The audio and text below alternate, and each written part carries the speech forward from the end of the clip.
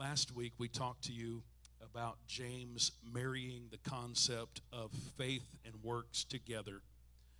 And then we ended there uh, and finished with the, the thought of the woman with the issue of blood.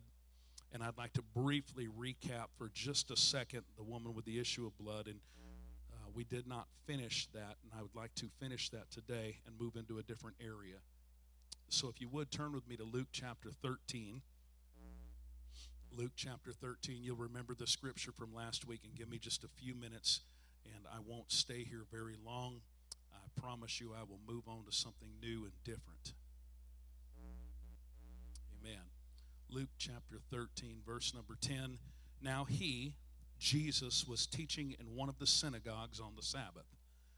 And behold, there was a woman who had a spirit of infirmity 18 years. Y'all better pray because I'm telling you, I feel the Holy Ghost just dropping things off in my spirit, just left and right. And I really want to stick to the message, but I feel something stirring inside of me this morning. There was a certain woman with a spirit of infirmity 18 years, and she was bent over and could in no way raise herself up. But when Jesus saw her, he called her to him and said, Woman, you are loosed from your infirmity. And he laid his hands on her, and immediately she was made straight and glorified God. Just a couple things that I'd like to talk to you about. We touched on last week. The Bible said that Jesus was teaching in the synagogue. Jesus sees her while he's teaching. She can barely stand. The Bible said that she had been stooped over for 18 years with back problems. I asked this question last week why did she even bother coming? I mean, she had a backache why go to church? She'd been doing it for a long period of time 18 years. This wasn't her first rodeo, and she kept going to church. If I can just meddle a little bit and play with that, I mean, why not just stay home? I mean, God understands when you're frustrated, right? God understands you're not feeling well. God understands she has back problems. Why bother showing up? I'm going to tell you something. That is not God saying that. That is the enemy that does that to the human mind. Why bother showing up? God knows you're ticked off at somebody. Come on, why bother showing up? I think she understands the sowing, that sowing is a process. It's not instant, it is a process. Again, we're talking about sowing and reaping. If I could take that a step further, and I talked about this last week, shame on the church, come on, and the synagogue of the modern day to not be a place where the stooped over can walk in and get healed. Come on, somebody. Amen. Shame on the church that we have become a place that we are so regulated by what people think that people cannot come in church and get healed. Come on. Amen. We can sit in a crowded football game, but we can't come to church and get what we need. Amen. And, and, and listen, what's wrong with the people of God for not expecting something from the God that they love when they walk into the place? Come on, amen. I mean, he took stripes for our healing. Come on, he was nailed to an old rugged cross, not for the fun of it, not to just see if he could rise again. He did it because he loved us, and he said that the stripes that he took were for our healing, emotional and physical. And I believe there is something wrong with us when we can walk in church, want to sing a couple songs, listen to a three point message, and not expect anything from the God whose son took stripes on his back for our healing. Shame on us for not being able to sit in church, come on, somebody, and expect something out of God other than just some songs and a little bit of word. We can sit in a ball game, it doesn't seem to bother us. We can go to the movies, it doesn't seem to bother us. We can act like married folks when we're single, and it doesn't seem to bother us. Come on, you can run to Texas Roadhouse all weekend, and it doesn't seem to bother you. But my God, go to God's house on Sunday and give Him some glory or praise? Uh huh. Come on, go ahead and preach with me. Amen. And listen, what's wrong with us that we don't expect anything from God? Let me say this to you, legacy family. There is something wrong when people can walk into our church with an infirmity and in bondage and walk out and never receive what they come after. Now, listen, it is wrong. It is, I, I want to say this I can't make nobody come to an altar, I can't make you try to take a step of faith, I can't make you lift your hands and worship God. But if you do and you don't receive something, come come on, something's wrong with the people of God. Amen. We need to be able to get what we need from God. Amen. The Bible said she drug herself into that sanctuary. She couldn't stand up for 18 years. Can I just say this to you today? Drag yourself stooped over to church. Come on, drag yourself stooped over to the uh, uh, to the elders of the church. Drag yourself stooped over in front of the body of Christ and be consistent. Listen, and little by little, God is going to move in your situation. Little by little, 18 years it took her, but little by little, God will move in your situation. Luke 13, verse number 14. The ruler of the synagogue answered with indignation the leader of the church was mad. And because jesus healed on the sabbath and he said to the crowd there's six days on which men ought to work. Therefore come and be healed on one of them and not on the sabbath day. Can i just preach right here for a second? Look at the religious people Look at the religious people, the ruler of the synagogue, un, uh, upset because Jesus is completely out of line. How dare he reach down and heal somebody? Come on. How dare he do something that we don't see very often and he did it without our permission or our help? Come on. Why are they so upset? Why are religious rulers of the synagogue so upset with Jesus in this story? Because he healed on the Sabbath. What an accusation. He healed somebody on the Sabbath. Always remember this this religious folks are more concerned about rules than they are people. Mm-hmm. Come on, that's the truth. Let me read this to you. Luke 13, verse 15. He answered and said unto him, Hypocrites. Hallelujah. Amen. Hypocrites, don't each one of you on the Sabbath loose your ox or donkey from the stall. Don't you get that stupid red heifer out of the middle of the highway when she gets out of the fence and lead it away to water when what you want to do is push her in a ditch and run her over. Hallelujah. So, verse 6, sorry, that was just flesh there. 16. So ought not this woman, being a daughter of Abraham, who Satan has bound, think of it, for 18 years, be loosed from this bond on the Sabbath. And when he had said these things, all the adversaries adversaries were put to shame, and all the multitude rejoiced for all the glorious things that were done by him. All right, now listen, watch this. The woman in this story is praising God and worshiping God. Why? Because for 18 years she had a spirit of infirmity, the word says, and she has been totally, just then, totally and completely set free. She has began to thank Jesus and praise him for her healing. Others in the crowd, they begin to thank God and they begin to have church and they begin to praise praise him as well. Now, pay attention right here. A miracle has just took place in the church, and the leaders of the church are upset because she is there uh, uh, in the uh, she has been there in the past, and that healing has never showed up until Jesus shows up. Boy, do I want to preach right there. You can show up to church all the time, but until Jesus shows up with you, until the Holy Spirit has been loosed in the congregation, come on, you won't get what you came after. Come on, are you here today? Today.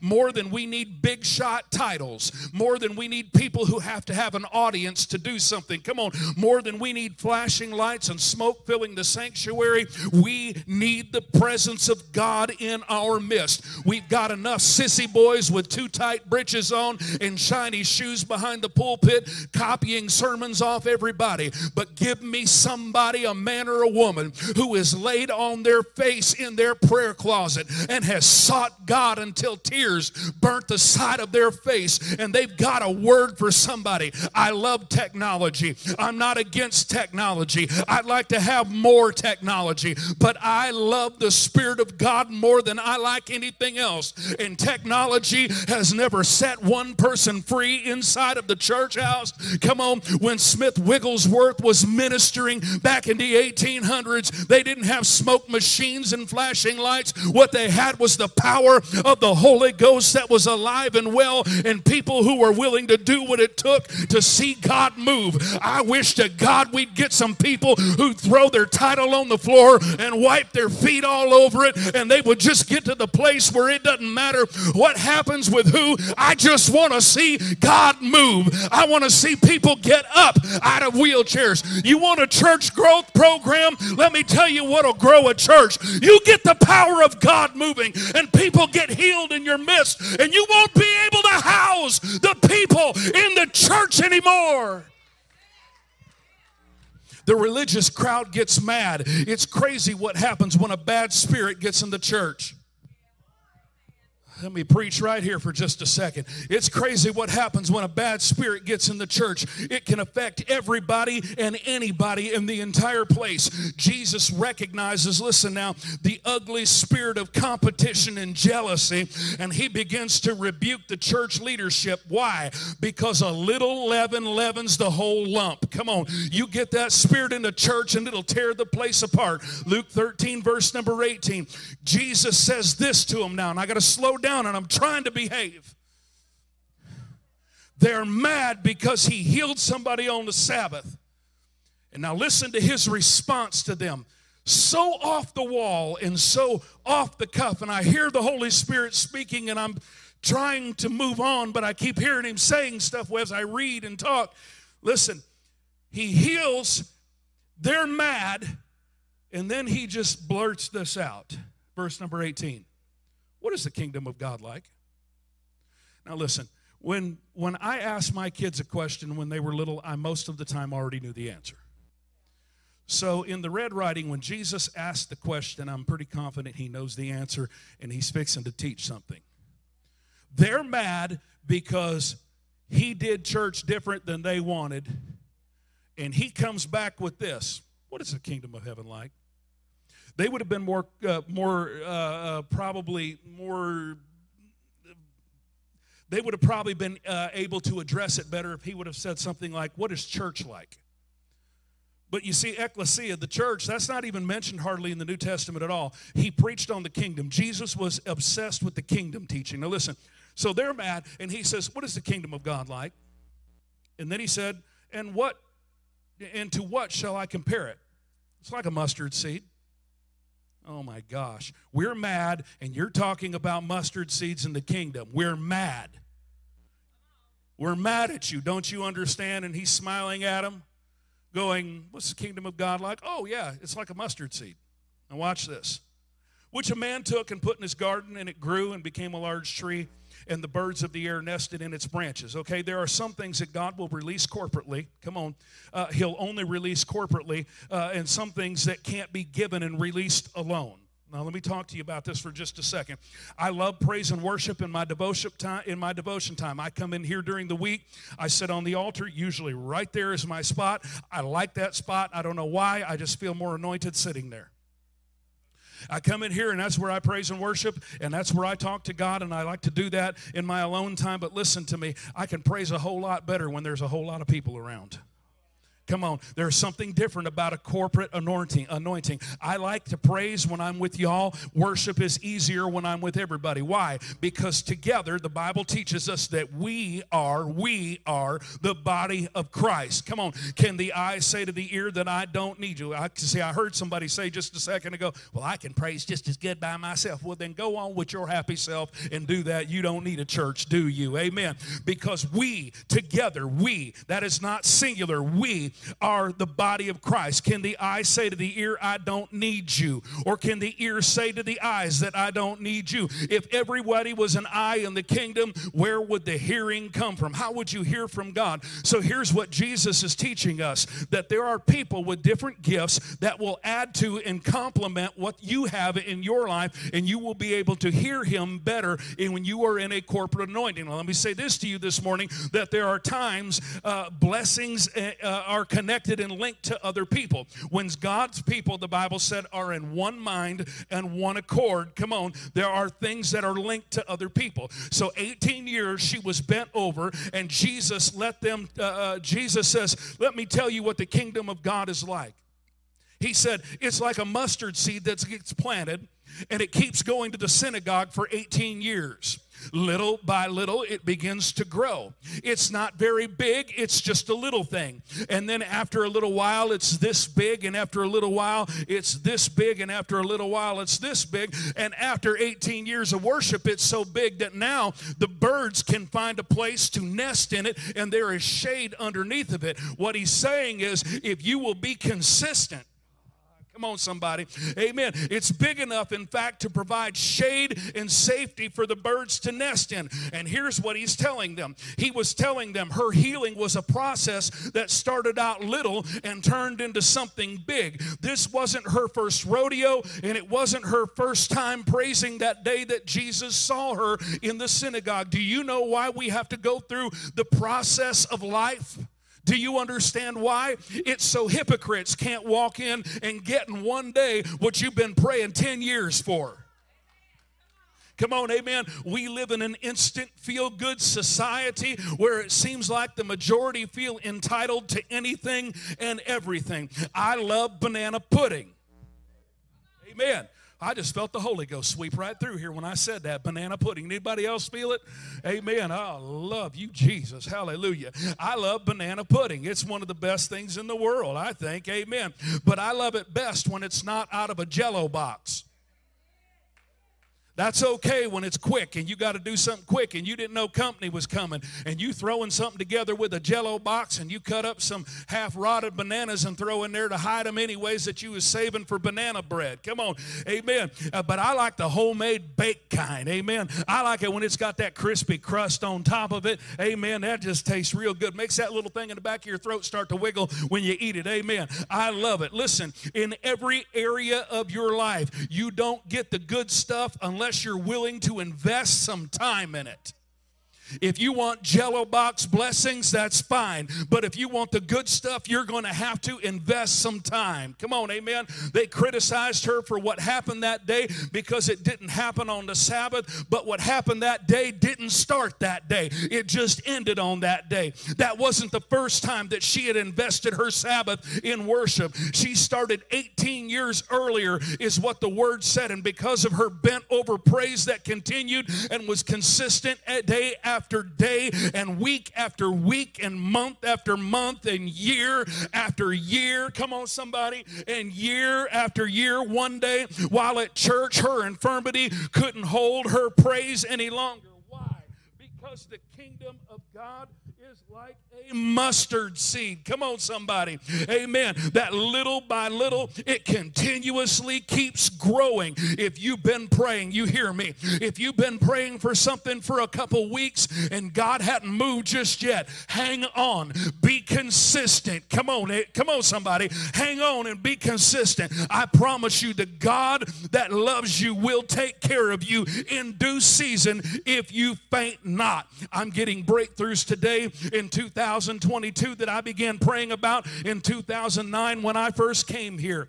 Amen. I'm blessed today because my mom and daddy taught me when I was mowing grass up and down the street at 13 and 12 years old uh, for the neighbors. My daddy taught me that 50 cents of that $5, come on, now it takes $5 for one tank of gas. Come on, amen. It takes you $55 a week to mow the church lawn. Isn't that crazy? Amen. $400. Anyway, uh, uh, my daddy told me $5. He said 50 cents of that goes to Jesus, son. If you want to be blessed, that's what goes on. And I'm being blessed today because of what my parents taught me when I was a kid. Now that I'm older, I have been a consistent giver. Come on and listen, I dare you to say it. Poverty will not hold me back. That spirit of poverty doesn't hold me back. You can, oh, ugly and preach right here. I just want to, oh Lord, I feel the ugly spirit coming on. I don't even know if I'm mad, happy, or just feel God. Amen. But listen, you can make up every excuse why you can't and why this happened and why that happened. But if you'll just start sowing little by little, I'm telling you, little by little, God will start moving for you. Poverty doesn't hold me back today because listen, most of our breakthroughs in our life don't start today, they started years ago. And what God starts one way, He usually will not end the same way. Oh, I feel something just messing with me. I got to hurry and get done so I can preach. What in the world did he just say? You heard me. All right. Who's the Lord of your harvest? Who's the Lord of your harvest? Who's the Lord of your seed? Let me just ask this real quick. I got to stick to the subject. We'll shout in just a minute. Okay? Who's the Lord of your seed? If it's the stock market, you're in trouble. Mm-hmm. it's the Republicans, you're in trouble. And if it's the Democrats, you're in trouble. Come on, somebody. Amen. You're in trouble if that's what you're counting on. I have heavily invested in some things over the years. And I'm going to tell you, six months ago, Brother Ed Lane and I were talking about this the other day. Six months ago, we were counting our money. Woohoo! I've been invested for years in some things and going, hmm, I need to cash out now. Look at what God is doing. Hallelujah. And guess what happened? I should have cashed out. Amen. We'd paid this church off already. Amen. Who, is the Lord of your seed? Who is the Lord of your harvest? Now, hang in there with me for just a second. I'm going to say some tough things right here, okay? God is Lord of our harvest in our lives. Hear me again. God is the Lord of the harvest in our lives, but listen carefully. He will bring a harvest into our lives depending on how you sow. Now, hang on you and I, let me say this again God is the Lord of the harvest, but you and I are Lord of the seed. Are you hearing me? Come on, pay attention. Pay attention. God is the Lord of the harvest in our life, but we are the Lord of our seed. Look at your neighbor and tell him, We are the Lord of our seed. If you don't believe it, just hang on. You don't even have to repeat it because I understand that he is that I am the Lord of the seed, we need to be careful that we don't put God in a box and tell him how to run his business. Because if I am the Lord of the seed that I plant and he is the Lord of the harvest, my harvest depends on my seed. Right? Okay, hang on. You might be married to the sorriest spouse in the state of Texas Come on. And tell God, you've got two more weeks, and that's all I can take.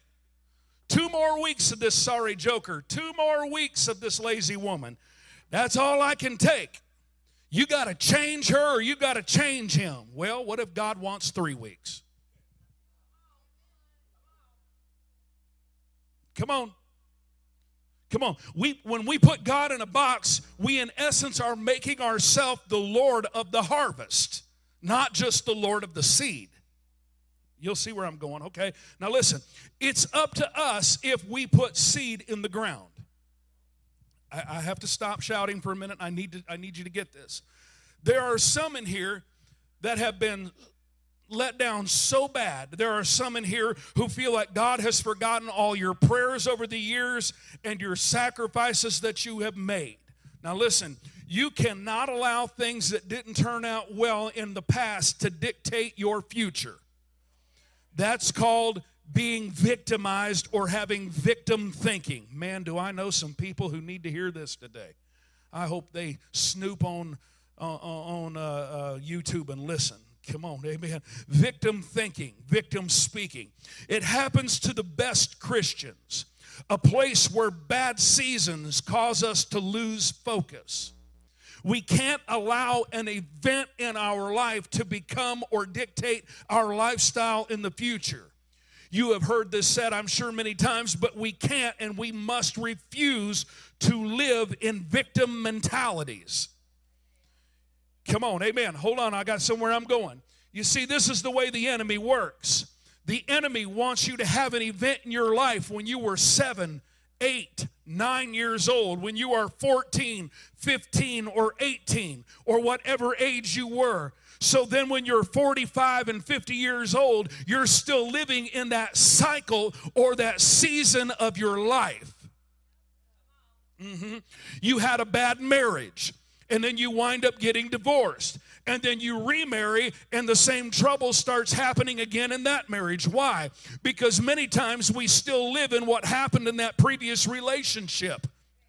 No trust, always suspicious. Come on, your seeds cause cycles in life. Mm-hmm. Let me go a step further and tell you what those cycles are like most of the time. They usually cause a person to live in depression. They usually cause a, a, person to live defeated or oppressed and feel like it's always going to be this way and it will never get better. Better. Well, Pastor, I was legitimately hurt. Listen, I understand legitimate hurts. But if we don't get a hold of the cycle, it's going to start a downward spiral in our life. That way of living, the victim way. It teaches people not to expect too much out of you because you were hurt 35 years ago. Come on. Because I was hurt at the last church, I'm not going to do anything in this church. Because the last spouse let me down, I'm not going to do anything with this one. Because the last one did this, I'm going to keep a separate bank account. We're not going to ever really become one because this happened to me and this this ha- and, and that happened i'm not even going to marry that one i'm just going to shack up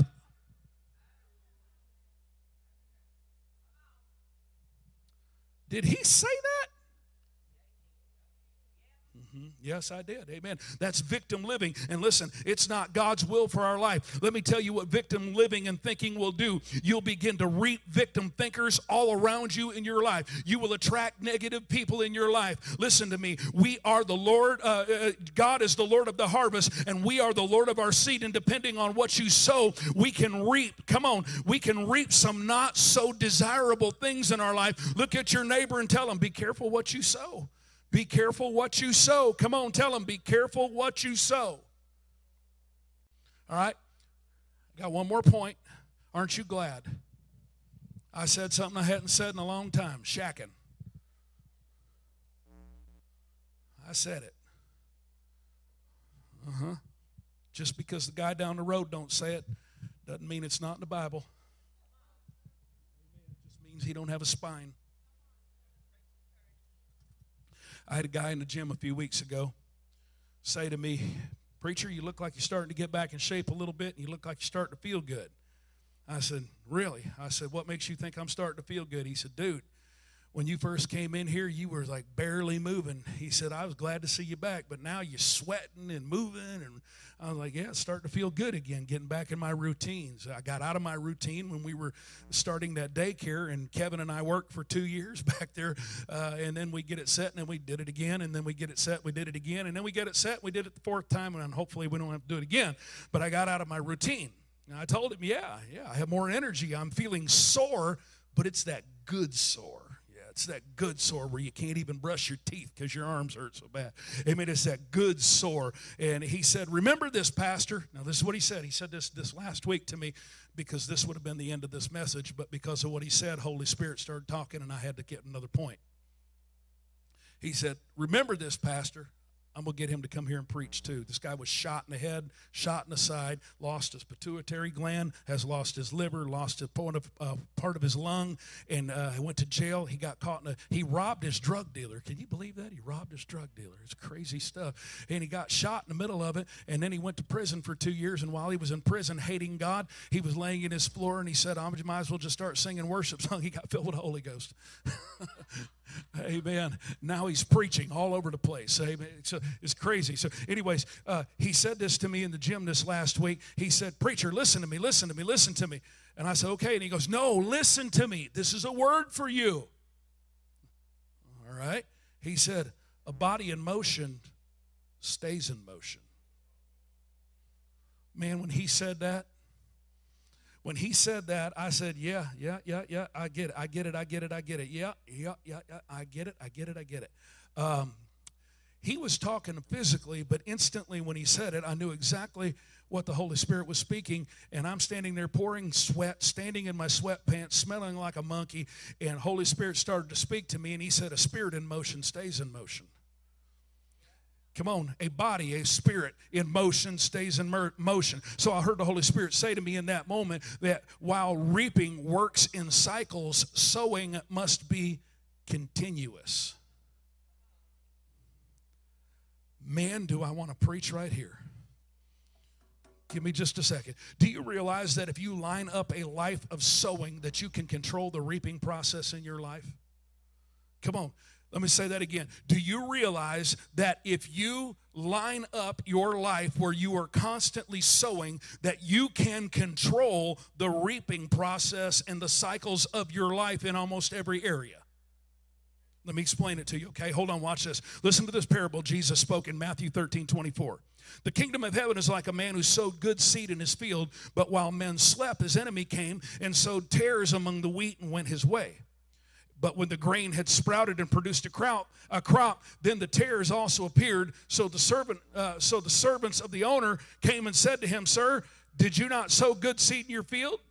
How is it then that you have tares?" And he said unto them, "An enemy has done this." The servants said to him, "Do you want us to go and get and gather them up?" And he said, No, lest while you gather up all the tares, you also uproot the wheat with them.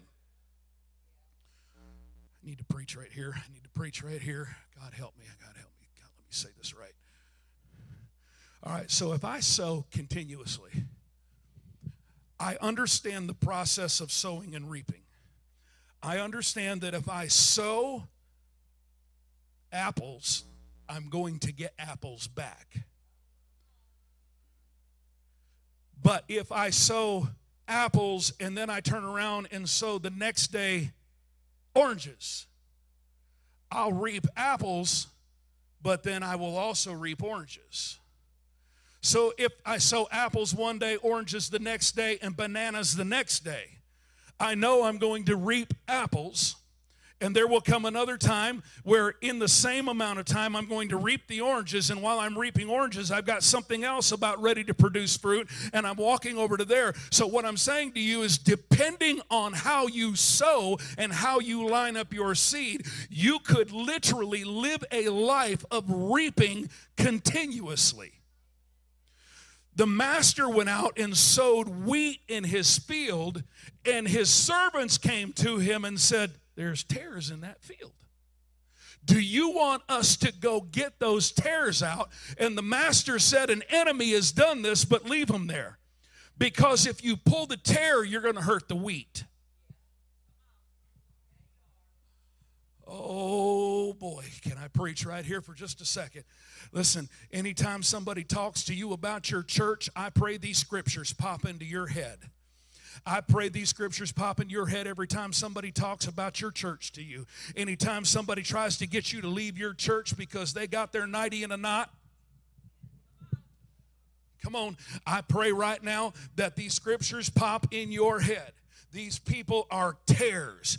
Tares want to get good people caught up in things they don't need to hear and things that just quite honestly have nothing to do with them. Tares go home and say things like, I just don't know about that pastor and leadership at Legacy Church. Can I say this to you? Don't let people poison you. Come on. Don't let people badmouth to you. Don't let people badmouth your church and its leadership. If you are best friends with somebody, don't let people badmouth and poison you towards the person sitting on the seat next to you. Come on, somebody. Are you in here? Come on. Are you here? Come on. Are you here today? Most of the time, people like to talk trash and talk smack is because they don't even like themselves. So, in turn, the way to take the focus off of themselves is to put the focus on other people. Come on, somebody. Are you here today? Yeah.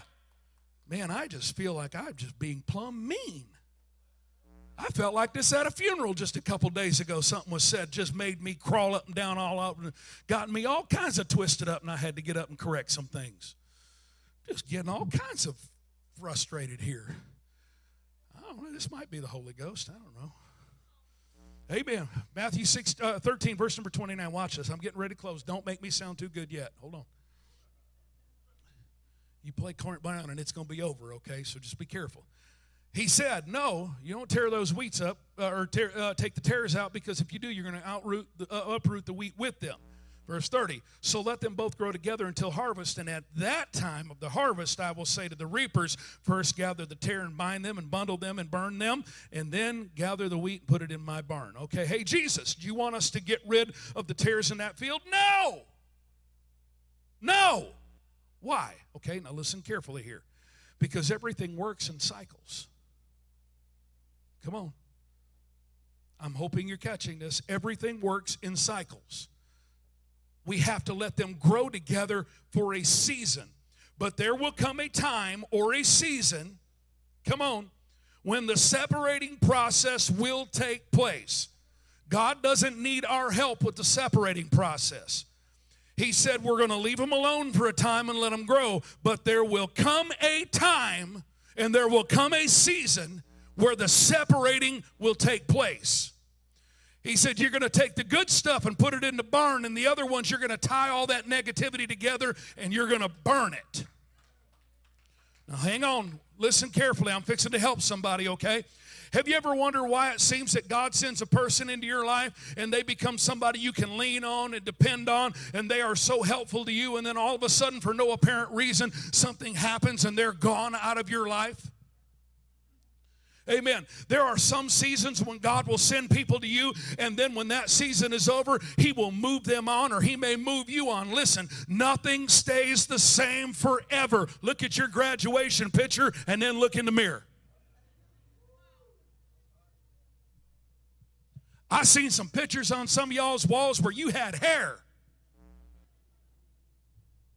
Nothing. Come on, look at your neighbor, tell him, nothing stays the same forever. Yeah, it doesn't matter how many Oh, God, you don't want me to say that, Lord Jesus. Amen. That would just pure be mean right there. Amen. All right, so uh, he'll move them on because nothing stays the. Uh, that was just a mean thought right there. Nothing stays the same forever. Life is a continuous cycle of perpetual motion. I feel like I might need to say this for somebody in here today. Quit spending your days and weeks and months and years trying to hang on to what God has moved on. Don't spend weeks mourning over a loss, or you may miss the entrance of your next season, which will be 10 times better than where you came from. Come on, you keep living in the past and you'll never get to the future. You hang on to that other relationship, God will never bring the new one into you. Come on, somebody. You live in the past and dwell in the past forever, and you will never see the new that God has for you. Oh, where have you been all service? You're making me feel good right now. Come on, amen. You will miss what God has has for you if you continually live in the past. I'm reading a book right now, and here's what, it, here's what the title says it says, What got you here won't get you there. Mm-hmm. Come on, amen. What got you here won't get you there. You see, it's very simple. I'm fixing to close. That's my second one. Hold on. It's very simple. Our bodies work off cycles. You can Google this and find this to be true. Every seven to 10 years, with the right vitamins and the right minerals, our body will heal itself and it can even reproduce dead tissue. You can find that. That's a that's a that's a, a medical fact, okay? There is also only a few days a month that a woman can conceive. Why? Because God created a female's body to work off of cycles. Come on, amen. Are you here? It rains. And when it rains, the atmosphere soaks it up and then it rains again. Listen, droughts occur. Droughts occur when cycles become unbalanced. Come on, I want to say this to you. If God tells you to shout, you better throw down and shout. If God tells you to run or dance, you better throw down and run and dance. Mike, where are you, Mike Warner? Where are you in here, Mike Warner? I watched you this morning go to two different people, and God was giving you specific words, and I knew they were from God because when you left, the people were bent over and they were bawling their eyes out. When God tells you to give somebody a word, give them a word. When God tells you to run and dance, run and dance. Come on. If God tells you to just bow your head and shed a tear, my God, you better take your happy self and start shedding a tear. Why? So your spiritual cycle doesn't get unbalanced. God may speak to you to give. Amen. He may speak to you to testify. He may direct you to speak to somebody specifically, Brother Mike. Listen, if you want to live in a life of perpetual blessing, don't miss your cycle and become unbalanced. Last thing, and I'll stop here, third closing. I just usually type up about 20 pages of notes, and wherever I feel led to stop, I usually just quit and continue the next week. Apple seeds do not produce orange trees. Matthew 13, verse 26. When the grain had sprouted and produced a crop, then the tares also appeared. The servant's owner came and said, Sir, did you not sow good seed in the field? How is it that you have tares in there? You sowed good seed and you have tares. Apples don't produce oranges, right? Right? Come on, somebody. The servant says to the owner, Didn't you sow good seed he says, Yeah, I did. And he said, Well, what's all this junk in here? What's all this junk? Okay, now this is going to be a little bit difficult, so hang on for a second here. In our lives, when we see something popping up that's not very attractive, the first thing we need to do is take inventory of what we're planning. But usually, the first thing that happens in the church with Christians, and it's the first thing, and usually the easiest thing to do, is we start rebuking the devil and binding bad spirits. I rebuke the enemy in the name of Jesus. Hallelujah. I bind that devil. Man, you can rebuke and bind and cast out and stomp your feet and cut yourself just like they did in the Word. But listen, what we really need to do first is ask ourselves a very honest question, and that is Is this what I sowed? Now, this is going to be kind of rough and it's going to sound kind of harsh, but listen, when you say things, when you see things popping up and you didn't expect it, it's not the time to start speaking in tongues and prophesying. You need to ask yourself, did I sow that seed? The bank calls and says, Bring your car in or we're going to come get it. That is not the time to start shouting, prophesying, speaking in tongues, and binding the devil. Come on. If you don't make the payments, they're going to take the car. Right? Come on, amen. Did I sow apples expecting oranges? You go to the ATM machine and that little devil in there. You want to get $20 out to get you a Big Mac or something. And that little devil says when you type your little number in, balance negative $140. It's not time to bind the enemy at the ATM. I bind that devil in that machine right now in name of, I speak life over this wallet. Give me the oil. Give me the oil. Whoa, hallelujah. No, no, no. Listen, it's not time to do all that. It's not time to do all that. How did this happen? I tell you how it happened. Wendy's, Little Caesars, Nancy's Nail Salon, Wilma's Weave Hut. Come on. Yeah. Not tithing. Not tithing. Yeah, that's how it happened. I sowed apples and expected oranges. Mm-hmm. Galatians 6 and 7. Paul said this Don't be deceived. God's not mocked. Whatever you sow, you're going to reap. Well, I asked the Lord to forgive me. Doesn't matter if you ask the Lord to forgive you, you're still going to reap. It's a spiritual principle. It just means when you ask the Lord to forgive you, He'll give you the grace to go through the reaping process. But if you sowed it, you're going to reap it. Come on, somebody. We either believe all of it or we need to take the Bible, throw it away, and walk away from it. Come on, amen. We can't be hypocritical about the way we do this, right? If you sow apples, you're going to get apples. If you sow pears, you're going to get pears. Come on, you can't sow apples and get pears and peaches and bananas and oranges. You're going to get an apple. It's funny, but yet it's not funny to me when people get so upset because they say, somebody was cold to me. Man, they treated me cold today at church. They was rude. I don't know what was going on. They treated me cold. I don't like that. People act that way in church. They treated me cold and they were critical and bitter and ugly.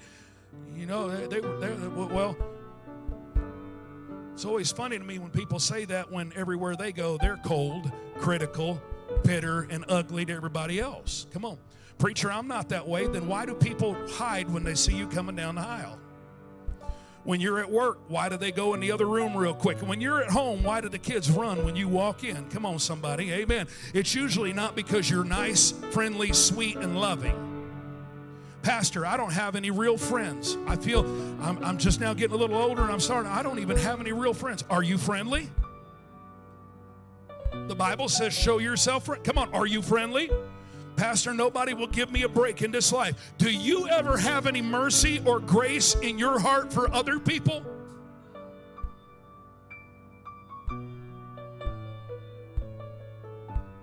Luke 6:38 Give and it will be given to you. Good measure pressed down shaken together running over it will be put into your bosom. And for that same measure that you use, it will be measured back to you. We use this scripture for offering. Well, I'm going to tell you something. That scripture, if you put it in context, has absolutely nothing to do with money given, it will be given. Jesus is talking about people who have unforgiveness in their heart. I don't know why I won't give uh, nobody will forgive me because he said if you give forgiveness it will be given to you. This had nothing to do with money. The principle's the same, but it had nothing to do with money. Come on, somebody. So listen, if you're going through junk and I'm going through junk, junk, we don't need to automatically start binding and rebuking. We need to ask ourselves, did I sow for this? Am I having problems in my family? Listen now, because behind closed doors I talk about everybody else's family. It just got quiet in this Presbyterian church. You need to go from scowling to smiling. That's why they make makeup. So when your face breaks, you can patch it all back up. And if you're a little bit older and Maybelline don't work, get you some Bondo. They got it at Pep Boys and O'Reilly's. Come on, somebody. You want a blessing? Quit being a taker and start blessing other people. Come on. You want people to be sweet? Give them a donut. No, I'm just kidding. I looked right at you and that popped in my mind. You want people to be sweet? Quit being ugly to everybody. Come on. You want people to be tender-hearted? Quit being so harsh. You want people to be merciful? Quit being so judgmental.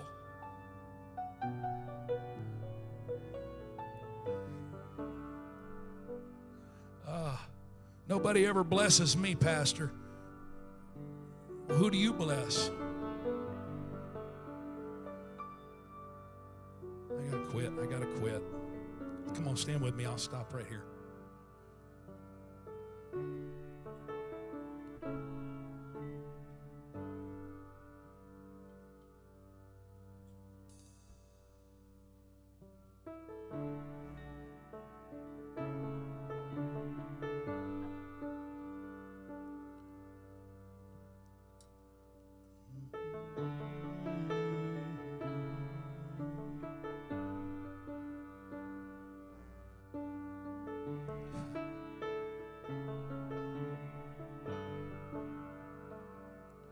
Sowing and reaping. You can line up blessings in your life if you sow properly.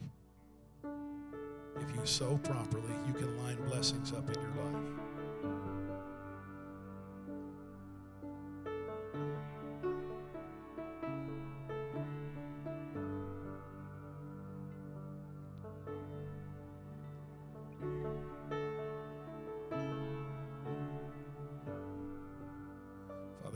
life. everything you told me to do today. I ask you to touch your people in this place.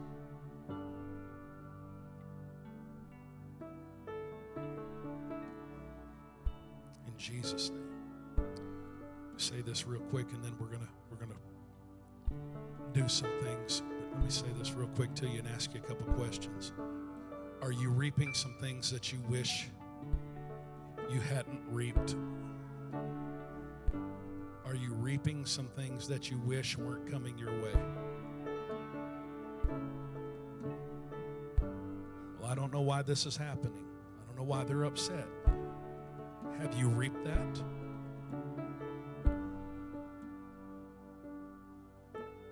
I said something to somebody the other day. They were upset about something and they said something to me and they said, Well, those people. And I said, Wait a minute, hold on, hold on.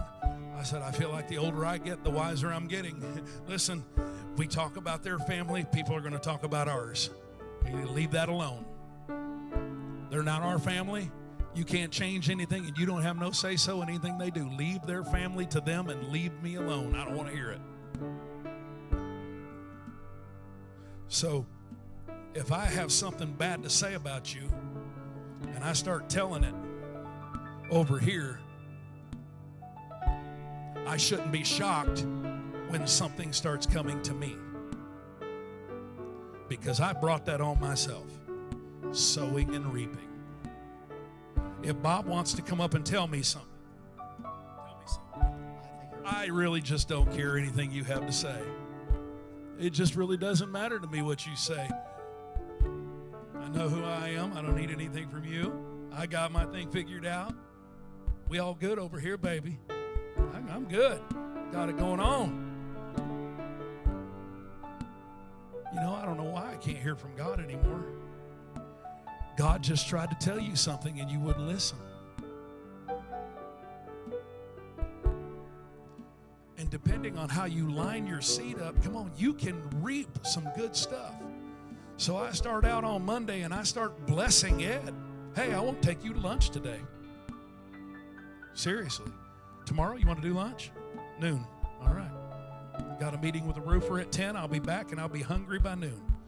And, and, I'm going to tell you something, Brother Paul. We are going to see God move in this situation you and I have been working on. We're going to see God move where He's going to bless us. We're just going to sow good seed and not to leave Sister Linda because she's so blessed already being married to Brother Ed. But, uh, you know, I'm just going to keep blessing her and blessing her. And Kevin, you and I are going to, we're going to get, get a dinner on Tuesday. We're going to do it because we're hungry. Amen. And I know I'm going to be. when I'm telling you, you're a good fella, and I'm just going to keep on every day. And you guess what happened? Surely goodness and mercy shall follow me all the days of my life. We, what I'm doing, I'm lining up my seed, and I just keep getting blessed every day. Every day, because I keep sowing, God keeps blessing me. Can I tell you something that I felt like telling you, and then your grandma grabs somebody else?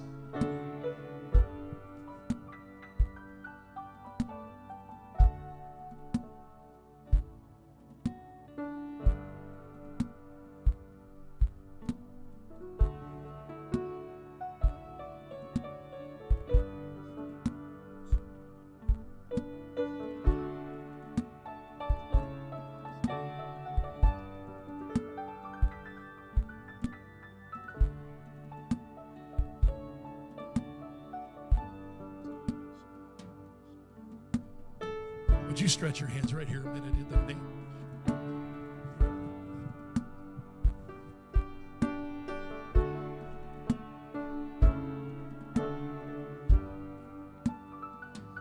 Standing here, not knowing how we'll get through this test. So I line up some more. I just keep lining it up, and every day I keep reaping.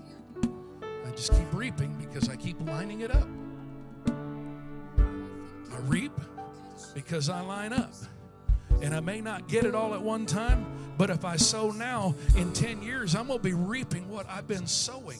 You and I talked this week, Tracy, or maybe it was last week. We talked you're in kind of a similar thing that you're doing with Ed and I and this other uh, brother, uh, what's your name? Yeah, uh, Brother Kent over here. I knew his name, I just forgot it. And, and, and what happens, we sow now, and then a few years from now, what happens is we start reaping because we sow. And if you keep laying those seeds out, God will bless you. But the same works in the opposite. If you lay out ugly, and you lay out lies, and you lay out meanness, you're going to continually reap ugly and meanness and lies and it just is perpetual motion. It never stops.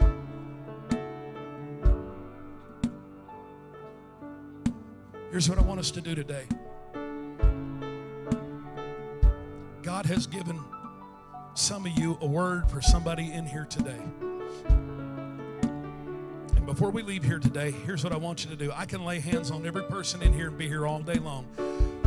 But it works better when we do this corporately because the preacher is not your source. God is your source, and the source may come through somebody sitting in here that God is speaking to. So I want you to exercise the gifts that you have. And I want you to lay your hands on somebody, or if the Lord has spoke to you, to give somebody specific a word. I'm not against prophecy. Come on, not against prophecy. I want you to go give them a word, and then I have something we're going to end with that somebody else has got a corporate anointing. Come on, take a minute. Lay your hands on somebody. Walk around the room if you need to for a minute. Come on. Come on. Come on, take just a few minutes. Come on, it's okay. It's okay. God is speaking to you. It's okay.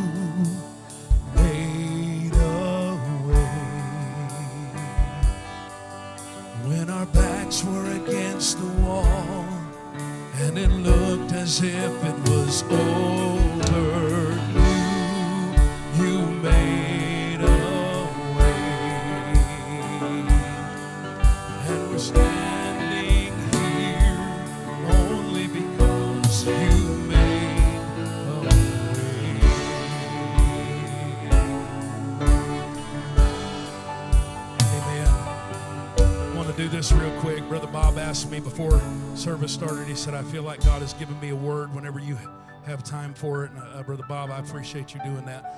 Uh, come on up here a minute. I believe God spoke to you. He has something for us to hear. You know, while I was in praise and worship, uh, God gave me three letters, and I understood them perfectly. He said MWO. Now, I was in the military for six years, and anytime we went to the field, we carried 56 10 wheel trucks and trailers to move all our stuff. So when the military would get ready to move, they would give us an MWO, which is a movement warning order. Said, prepare. I'm about to move. Get ready. Pack up your stuff. Get rid of the junk you don't need. It's time to move on. God told me to tell this church that He's giving you an MWO. He said, There's a movement warning order coming. He said, There's a movement of the Lord coming to this church. And He said, It's time to pack up the stuff you don't need the bitterness, the anger, the fear, the relationships, the broken problems, the depression, the anxiety, the worry. He said, It's time to pack it up, throw it down. You don't have time for it, you don't have the ability to carry it because of what God has for you to do. You and your wife, chunk it, chunk it all, chunk it all. He said, I got things for you to do, buddy. He said, I got a movement for you that you cannot imagine. I've got a ministry for you that you don't even know about, that you can't figure out, that you can't make happen. He said, I'm going to make it happen. He said, I'm going to make it happen. He said, It's not about what's up here, it's about what's in here. And He's about to change your life in a way that you cannot understand. You, He said, get rid of the fear. There's nothing to be afraid of. There's nothing to be afraid of. God said, I'm not done with you. I just got started with you. I brought you through the fire, and you're going to bring others through the fire. And He said, You're going to understand signs, wonders, and miracles. He said, Dump it, get rid of it. It's over. Leave it where you found it. Hallelujah. Hallelujah, brother. He said, You got some guns, right? But He's giving you spiritual guns. He's, I don't, I don't know you. I, I, I haven't seen you very much, but I'm going to tell you something. God's got something amazing for you to do. There's some junk in the past, some stuff that you need to leave behind. There's some relationships you need to leave behind. There's some things in the world that you need to leave behind because He said, I'm ready to move. And he said, I need to move through you. I want to use you. He said, as strong as you are physically, he said, I want to make you that strong spiritually. He said, I'm ready to move in you. He said, I need you to listen to me because when you do, he said, I'm going to start using you in a way you do not understand. Amen. Hallelujah. Hallelujah. Hallelujah. Hallelujah.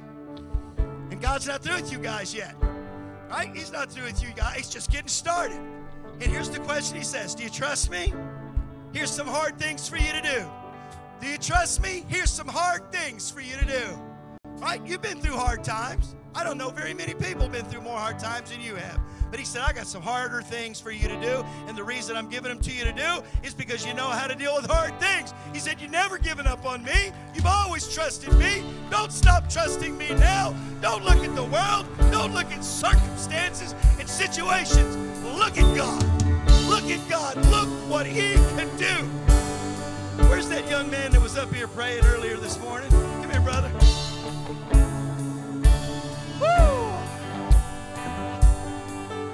Has such an anointing for you, brother. There is a young generation out there waiting for you.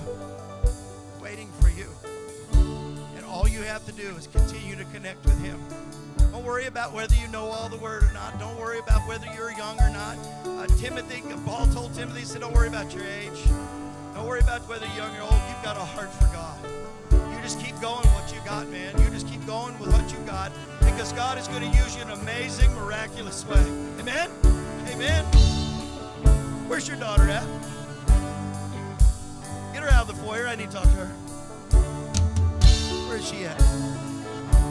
Where is she at? She trying to be a deacon? Can't be a deacon. Oh, the fire. Think God gave you that hair for no reason? Fire, fire, fire, fire, fire. God said, You're going to be fire. You're going back. He said, Babe, I'm just getting cranked up with you. He said, I've got situations and circumstances I'm going to put you in that is going to take you to a new level with me that you've never been before. He said, It's no coincidence I put you where you're at. Gave you the roommate I gave you. No coincidence. He said, I got something for you, fire. You get with God. You just get with God. You pray. You pray in tongues. You begin to believe. God's going to do something incredible in Germany. He's going to do something incredible, and He's going to use you as His instrument. Don't take, don't take the glory. Don't take the gold. Just give Him all the credit. Watch what He's going to do in your life.